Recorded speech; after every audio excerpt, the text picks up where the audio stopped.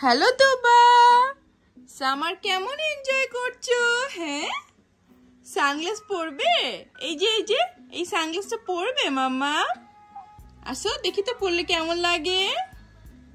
High মাম্মা। High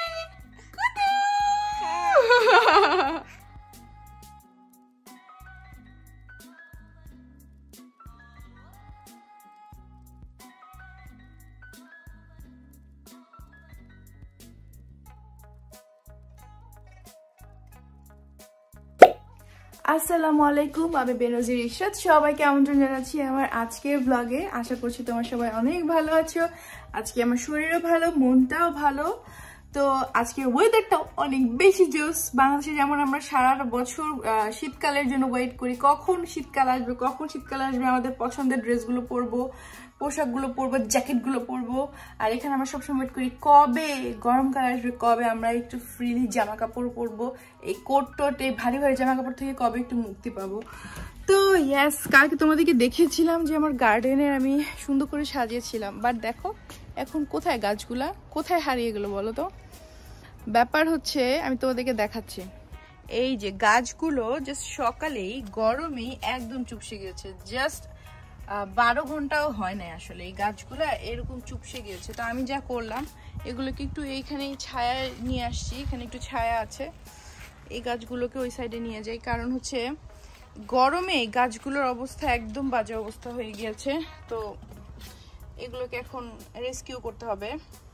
দেওয়া ছিল এগুলো কিন্তু আউটডোর প্ল্যান্ট এবং রোদ এটা তিরিশ ডিগ্রির মতো সহ্য করতে পারবে। সব কিছু নির্দেশিকা দেওয়া ছিল। তারপরও ওরা এত গরম সহ্য করতে পারে নাই, তাই এখন এই অবস্থা। তো দেখি বিকালবেলা একটু পানি দিয়ে দিলে যদি গাছগুলো একটু ঠিকঠাক থাকে। আমার কতগুলা গাছ। আমার অ্যাটম বোম, তুবা একটু ঘুমিয়েছে। তো ও যেহেতু ঘুমিয়েছে, আমি একটু ঝটপট করে খেয়ে নেই। তো আমার চিকেন রান্না করা ছিল, আমি চিকেনটা এখন খাব।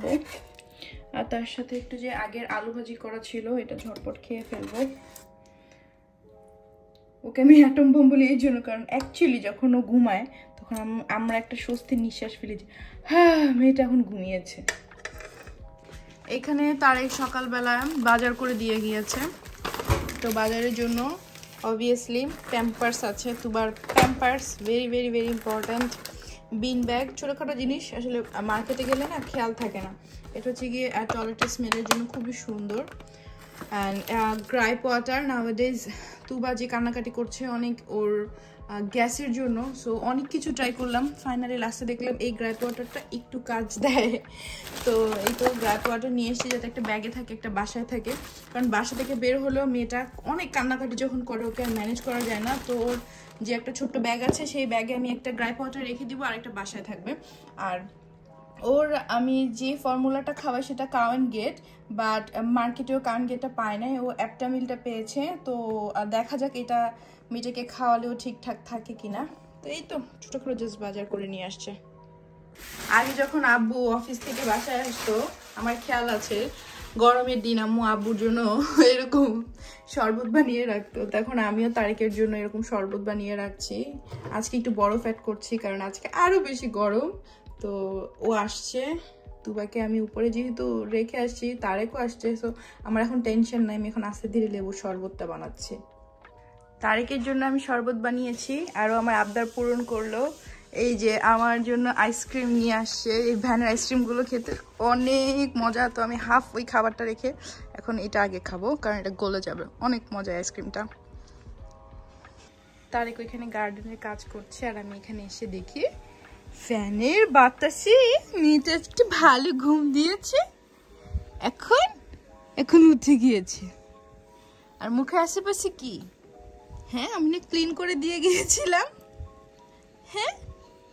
কি মামা? ঘুম ভালো হয়েছে? I love you mama. Happy summer মামাম কি সুন্দর সামার ডে তাই না? আসে মুখ ধুয়ে দেই। আজকে আমি প্রথম তুবাকে নিয়ে মেকআপ করলাম, একদম ফুল মেকআপ আইলেস সহ। আর আমি সেটা লাইভে করেছি এবং আমার লাইভে অনেক অ্যাপ্রিসিয়েশন পেয়েছি। স্পেশালি আমাকে শিমুলাপু বলেছে, তুমি কীভাবে এক হাতে এত তাড়াতাড়ি তুমি আইল্যাশটা পড়লা সো এমন একটা মানুষের কাছ থেকে অ্যাপ্রিসিয়েশন পাওয়ার পর আর কেমন লাগে বলো তো? আমার তো মনে হচ্ছিল যে আমার পিছনে পাখা গজাচ্ছে আর আমি উড়ে উড়ে উড়ে উড়ে উড়ে যাচ্ছি। যাই হোক, আমি আজকে লাইভ আসছিলাম বিকজ পঁচিশ তারিখে আকলু প্লাজা একটা মেলা হবে। সেই মেলায় ইনশাল্লাহ আমরা যাব বৈশাখী মেলায়। তো এখানে তো আমি যাব। তুবা, ইনশাল্লাহ আমি গেলে তো তুবা যাবেই। আর খুবই সুন্দর একটা মেলা হবে। ইনডোরে গরমে কোনো প্যারা নাই এসি থাকবে। এটা হচ্ছে কি আমার জন্য বড় একটা ব্যাপার। তো তোমরা যারা যারা যাবে, আমাকে কিন্তু কমেন্ট করে জানাবে হ্যাঁ? তাহলে ইনশাল্লাহ দেখা হবে। এই যে তুবা তুবার পাপার সাথে এখানে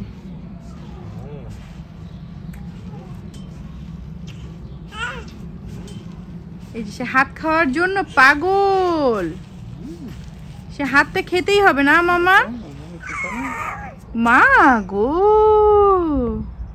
কি মামা? ও আমার লাল জামা দেখেছে, কি খুশি। আমার লাল জামা।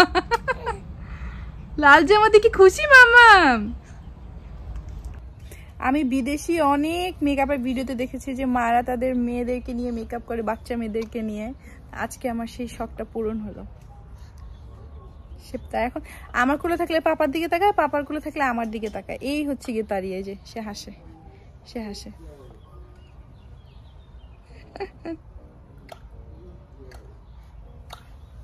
ইস রে, পাপাকে দেখে হাসি, পাপাকে দেখে হাসি।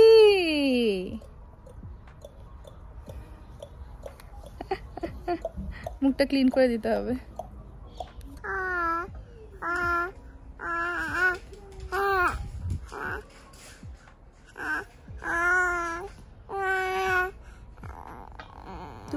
তুবা হচ্ছে আজকে হোস্টিং করছে। ইয়েস মামাম আজকে লাইভ থেকে তুমি কি কি শিখলে বলো? কথা বলা শিখলে এভাবে? এই যে হাত এভাবে ধরে? মামাম গোসল করেছ?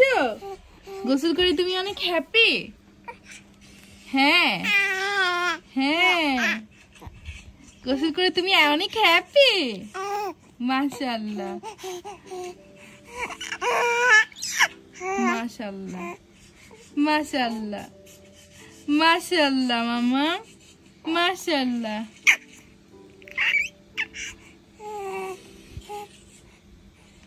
কি মা? আমি এখন সাওয়ারে যাই? গেলাম। Okay bye bye bye.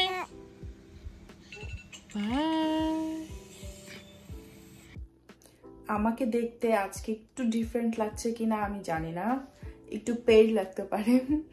But I am feeling so fresh একটা ভালো শাওয়ার নিয়ে আমরা রেস্ট নিচ্ছিলাম। মোটামুটি বলতে গেলে তিনজনে ঘুমিয়ে গিয়েছিলাম। এখন দুজন ঘুমাচ্ছে। আমি উঠে আসলাম কারণ আমার এখন একটু ভাত বসাতে হবে। রাতের খাবার খাব আমরা। তো রাতের খাবার আমার যে রান্নাবান্না ছিল, সেগুলোই এখন খাব। তো প্রথমে জাস্ট একটু ভাত আমি বসিয়ে দিব আর বাসা টুকটা গুছিয়ে নিব। দুবার খাবার দাবার সব কিছু গুছিয়ে নিব। তো তারা দুজন এখন ঘুমাচ্ছে, এখন আমি আসছি খাবারের ম্যানেজ করতে। রাইস কুকারে ভাত যে আমি এখন করি, আমার মনে হয় বাংলাদেশের মতো যদি আমি মার গালা ভাত রান্না করতাম, তাহলে আমার জীবনটা শেষ হয়ে যেত। আলহামদুলিল্লাহ রাইস কুকারের ভাত খেয়ে তারেক অভ্যস্ত, তা না হলে আমার কষ্ট হয়ে যেত।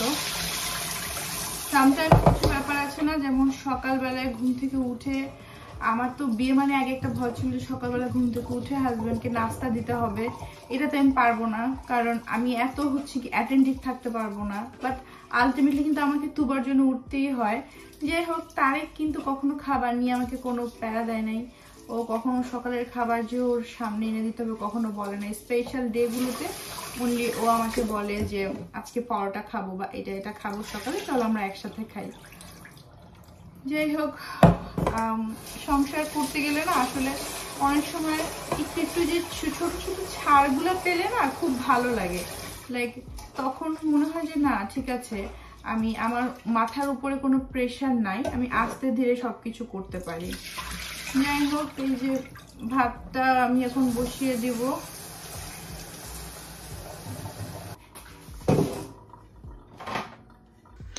একই তরকারি বারবার দেখাই। এই যে চিকেনটা আজকে রাতেই শেষ হয়ে যাবে। ডালটাও মোটামুটি শেষের দিকে আর আমি ডিপ ফ্রিজে করে রেখেছিলাম ধনিয়া পাতার ভর্তার সাথে একটু এখানে ধনিয়া পাতা পাতা, চিংড়ি অনেক কিছু আছে তো সব কিছু মিলিয়ে ভর্তাটা করেছিলাম। ডিপ ফ্রিজে ছিল, তো এটা ডিপ ফ্রিজ থেকে বের করে এখন খাব। এটাও আজকে রাতে শেষ হয়ে যাবে তো কালকে রান্না বান্না করতে হবে।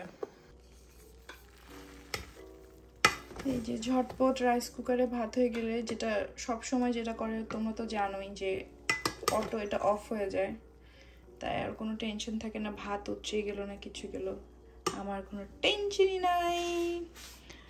তো খাবার দাবার খেয়ে দিয়ে ঘুমাবো, কালকে একটা স্পেশাল ডে আমার। এই প্রথম আমি ইংল্যান্ডে কোনো শ্যুট করব কোনো ফ্যাশন হাউসের জন্য। তো আই এম সো এক্সাইটেড তো কালকে যে শ্যুটটা করবে আমার, সে আমার খুবই পরিচিত একটা ভাই। তো আমার খুবই খুবই আমি এক্সাইটেড কারণ আমি জানি না কাকে কী করব, না করব। আমার বাসাতে এই শ্যুটটা হবে। বলেছি আমি আসলে অত বেশি ঝামেলা করতে পারব না। আমার বাসাতেই যেন শ্যুটটা করে ফেলে। আমার বাসার এখানে খুব সুন্দর সুন্দর জায়গা আছে। আমাদের গার্ডেনটাও খারাপ না। তো সব কিছু মিলিয়ে আমাদের এখানেই শ্যুটটা হয়ে যেতে পারে। আমি শুধু একটু টেনশন আছি, তুবাকে কীভাবে দেখব, কীভাবে ম্যানেজ করব। তো এই যে আমার খাবার দাবার আমি সব নিয়ে নিচ্ছি। তো এই হচ্ছে গিয়ে আমার আজকের ছোট্ট একটা ব্লগ কারণ আজকে বেশি অ্যাক্টিভিটিস করিনি এনজয় করেছি বেশি। গরমটা এনজয় করেছি, বা বলতে পারো গরমে নাজেহাল যে কোনো একটাই বাট খারাপ না। এই টাইমের জন্যই আমরা সারা বছর ওয়েট করি। আজ তাহলে এখানে বিদায় নিই। ইনশাল্লাহ দেখা হবে সবার সাথে পরবর্তী ভিডিওতে। সবাই অনেক ভালো থেকো। আমার জন্য অনেক দোয়া করো নিজে। ভালো থাকার পাশাপাশি অবশ্যই ভালোবাসা মানুষকে ভালো রেখো। আল্লাহ হাফেজ। টাটা, বাই বাই। আবার যেন দেখা পাই।